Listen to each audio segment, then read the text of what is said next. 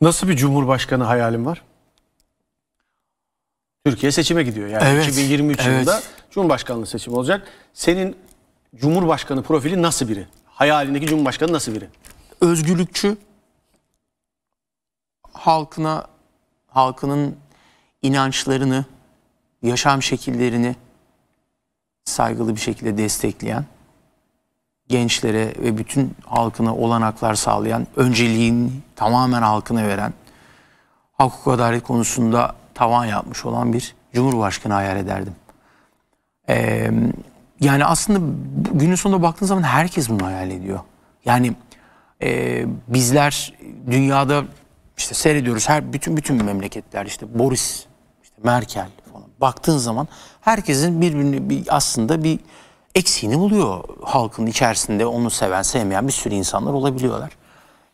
Biz biz daha konuyla alakalı daha uyumlu, daha destekli, daha derinlikli düşünüp daha halkı için çok daha farklı şeyler yapması gerektiğini düşündüğümüz bir cumhurbaşkanı hayal ediyoruz. Kafanda bir isim var mı? İsim çok zor ya. Kemal İsim- Kılıçdaroğlu aday olsun mu? Allah o kadar çok düşündüğüm bir şey ki bu. Yani Kemal Bey'in eee, bu altılı masa konusu başka bir dünya. Buradaki e, Mansur Bey, Ekrem Bey, Kemal Bey, buradaki işte e, Meral Hanım yani çok değişik şeyler dönüyor. Özellikle son dönem böyle bir kafa karışıklığı halinde ne oluyor acaba dediğimiz çok değişik bir dönem geçiriyoruz. Ama halkımızın ve bütün hepimizin tek düşündüğü bir şey bizim ülkemiz laik bir ülke ve hep de böyle olması temennimiz her zaman. Kemal Kılıçdaroğlu aday olsun mu? Valla oradan ne sonuç çıkacak bilmiyorum. Hayırlısı neyse olsun diyoruz. Böyle bağlayamazsın bunu ya gerçekten. Abi çünkü yani niye biliyor musun? Ekrem Bey'in dominansı olan yerler var. Mansur Bey'in çok ciddi dominansı olan yerler var. Kemal Bey var mı? Bey'in Kemal Bey'in de var. Kemal Bey çok narin ve nazik bir kişi. Ee, biraz siyasette tabirler, ifadeler biraz daha daha farklı olması gerektiğini düşünüyorum. Yani daha çok hani Ekrem Bey ile Mansur Bey arasında gelip gidiyorum ben.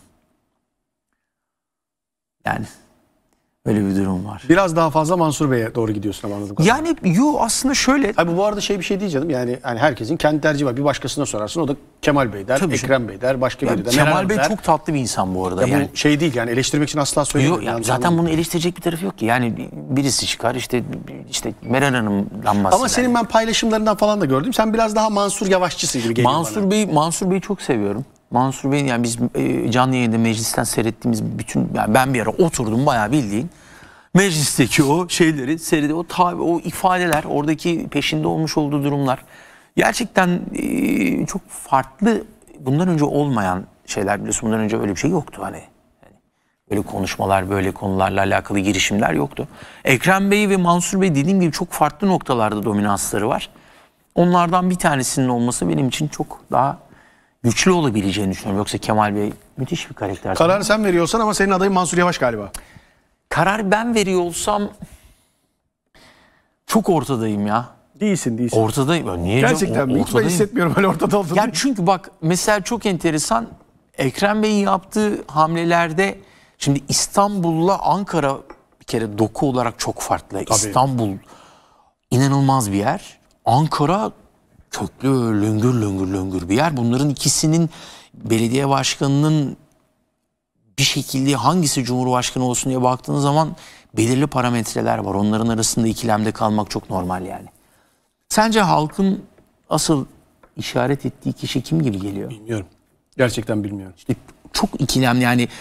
Ben yoksa e, dediğim gibi e, Mansur Bey'i çok seviyorum. Ekrem Bey'i de çok seviyorum. Ama İkisi de çok sen Ekrem İmamoğlu ve Mansur Yavaş ismi iki, iki isim İkisi- arasında. iki isim arasından birinin gerçekten yani e, gençliği bakımından Ekrem Bey'in daha farklı yerlerde e, gidebileceği, Mansur Bey'in daha oturaklı, daha böyle hani söylem olarak daha net olduğu için belki Cumhurbaşkanlığı bakımından daha yakışabilir. Evet dediğin gibi hani çünkü Ekrem Bey heyecanlı ve bayağı e, girişken ve konularla alakalı sahada yani. Onun da aralığın ortasında bir davası var biliyorsun. Siyasi yasaklanmasını istedi. savcı. Anlamış değilim. Anlamış değilim. Ya böyle konuşuyoruz ama öyle bir karar çıkarsa konuşmamız boşuna bir konuşma olacak. Evet yani anlamış değilim. Benim konularla alakalı mesela girip baktığım zaman okuduğum zaman abi, neden diye o kadar çok şey soruyorum ki. Ya niye ki diyorum yani neden böyle bir durum oluşuyor şu anda anlayamıyoruz. Eminim biz mesela bu konularla alakalı konuştuğumuzda neden diye hepimiz soruyoruzdur. Bir cevabı da yoktur bunun yani. Bizim şey var e, komünist başkan efsane bir adam. Mesela ben onu çok seviyorum. Çok örnek bir belediye başkanı. Efsane bir karakter. Memleketimizin mozaiklerinden